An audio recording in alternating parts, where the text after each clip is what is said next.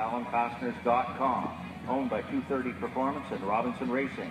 Special thanks to Bill Robinson, Steve Johnson, Induction Solutions. Opposite him in the near lane, Sean Giroux, Giroux Boats of Camarillo, California, crew chief and engine by Gary Snodgrass. Owned by Roy Cook, Sean doing driving.